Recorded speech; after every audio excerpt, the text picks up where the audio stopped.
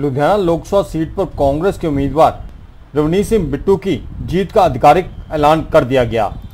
ये ऐलान जिला चुनाव अधिकारी लुधियाना प्रदीप अग्रवाल द्वारा किया गया। वहीं बिट्टू की जीत के ऐलान के बाद लुधियाना में कांग्रेसियों ने लड्डू बांटकर खुशी मनाई। वहीं ढोल की थाप पर भंगड़े भी डाले।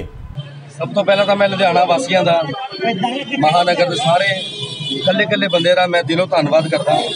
ਜਿਨ੍ਹਾਂ ਨੇ ਆਪਣਾ ਇੱਕ ਇੱਕ ਕੀਮਤੀ ਵੋਟ ਦੇ ਕੇ ਸਾਡੇ ਸਰਦਾਰ ਐਮਪੀ ਰਮਨੀਤ ਸਿੰਘ ਬਿੱਟੂ ਜੀ ਨੂੰ ਵਿਜੇ ਬਣਾਇਆ।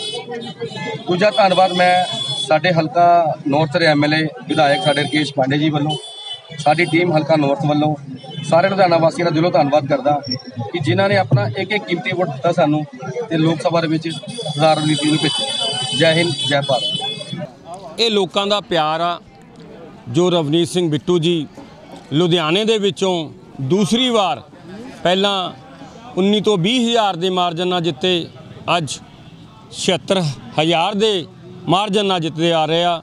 ਅੱਜ ਮੈਂ ਲੁਧਿਆਣੇ ਦੇ ਲੋਕਾਂ ਨੂੰ, ਲੁਧਿਆਣੇ ਦੇ ਨੌਜਵਾਨ ਨੂੰ, ਲੁਧਿਆਣੇ ਦੀਆਂ ਮਾਤਾਵਾਂ ਨੂੰ, ਭੈਣਾਂ ਨੂੰ, ਬਜ਼ੁਰਗਾਂ ਨੂੰ, ਉਹਨਾਂ ਨੂੰ ਮੁਬਾਰਕਬਾਦ ਦਾ- ਬਾਤ ਕਰਦਾ ਅਤੇ ਉਹਨਾਂ ਦਾ ਧੰਨਵਾਦ ਕਰਦਾ ਜਿਨ੍ਹਾਂ ਨੇ ਇੱਕ ਇੱਕ ਵੋਟ ਪਾ ਕੇ ਰਮਨੀਤ ਬਿੱਟੂ ਜੀ ਨੂੰ ਜਿਤਾਇਆ, ਜੋ ਲੁਧਿਆਣੇ ਦਾ ਨਾਰਾ ਸੀ, ਇੱਕ ਵਾਰ ਫੇਰ ਬਿੱਟੂ वो लोगों ने साबित कर दिखाया जागृति लहर के लिए लुधियाना से सुरेंद्र रोड़ा सोनी की रिपोर्ट